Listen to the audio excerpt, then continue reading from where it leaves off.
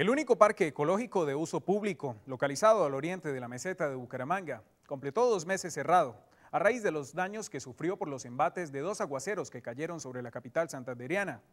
En 12 años de historia, el Parque La Flora, un pulmón de 10.5 hectáreas, aledaño a los barrios La Floresta y Terrazas, no había registrado un cierre tan prolongado, hecho que tiene inquietos a las decenas de usuarios que aún se asoman a este lugar con el fin de hacer sus ejercicios físicos o simplemente contemplar la naturaleza. Soy Autónomo Televisión quiso conocer el panorama de este atractivo natural dentro de la ciudad de Cemento.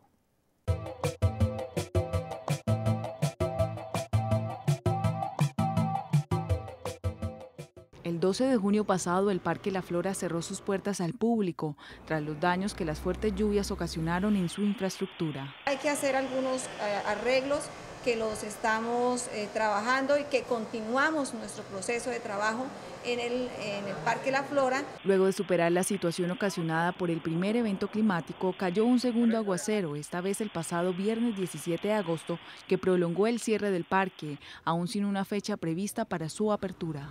Infortunadamente por eh, la lluvia torrencial que cayó, tuvimos algunos eh, taponamientos de algunas alcantarillas, lo que causó deslizamientos de lodo, daños a la revegetalización, algunas obras que ya se habían implementado en esta nueva administración.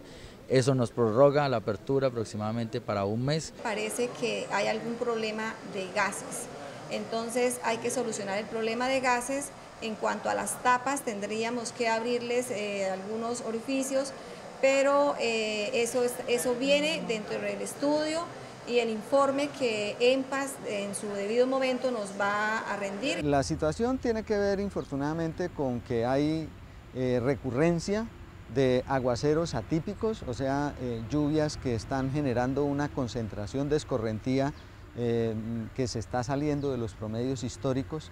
eso va a llevar a que la empresa de alcantarillado eh, haga una evaluación hidráulica de la microcuenca de la flora. La empresa de alcantarillado de Santander, en Paz, pone de presente que no solo los cambios severos de intensidad de los fenómenos del niño o la niña contribuyen con el mal estado de este parque, sino la mano irresponsable del hombre.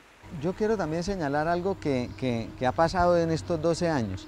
La microcuenca de la flora inicia prácticamente en la Comuna 14.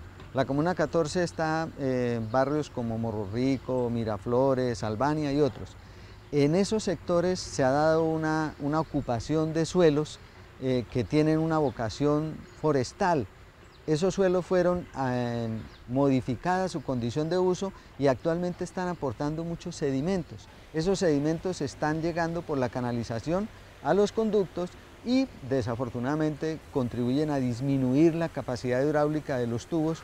En Soy Autónomo comprobamos que la falta de cultura ciudadana llega a tal punto que en un solo recorrido encontramos elementos como almohadas, trapos y hasta discos compactos en el cauce de la quebrada La Flora a la altura de la avenida del Jardín. Hay unas condiciones antrópicas, o sea, formadas por la acción del hombre, que están contribuyendo negativamente a que esta problemática se esté agudizando y la estamos viendo, como bien usted lo señala, muy recientemente cuando años antes no estaba sucediendo. Como consecuencia, decenas de visitantes siguen sin cumplir sus rutinas diarias de ejercicio para beneficio de su salud al interior del Parque La Flora.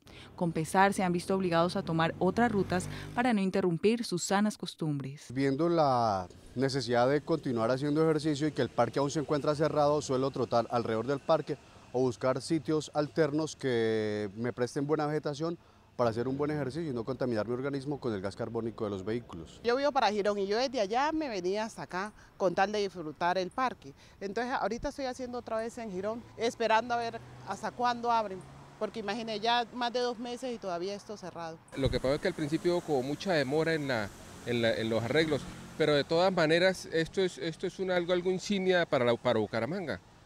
Lo importante es que lo arreglen para que la gente vuelva al parque. Incluso Luis Eduardo Blanco, que por más de una década ha cumplido la labor de vigilar desde afuera los vehículos de quienes frecuentan este parque, se ha visto en apuros económicos tras la ausencia de visitantes. No tengo trabajo, no tengo cómo ni para pagar arriendo porque ya me, ya me quieren descorrer de, donde estoy viviendo, una pieza, en una pieza arrendado ya me dicen que tengo que salirme porque yo no tengo plata para pagar y, acá donde yo saco para pagar el arriendo. Lunes festivos vienen hasta 300 carros y ese era ese, es mi trabajo cuidando yo mis carros. Ahí cuidando aquí el, parque, porque yo 12 años he cuidado mucho el parque, de que no se vayan a meter los ladrones, porque acá han, intentado meterse, yo los he cogido, se los he entregado a los señores policías. Otros vecinos del lugar manifestaron su inquietud al observar el traslado de bambúes y otras especies maderables características del lugar en horas de la noche.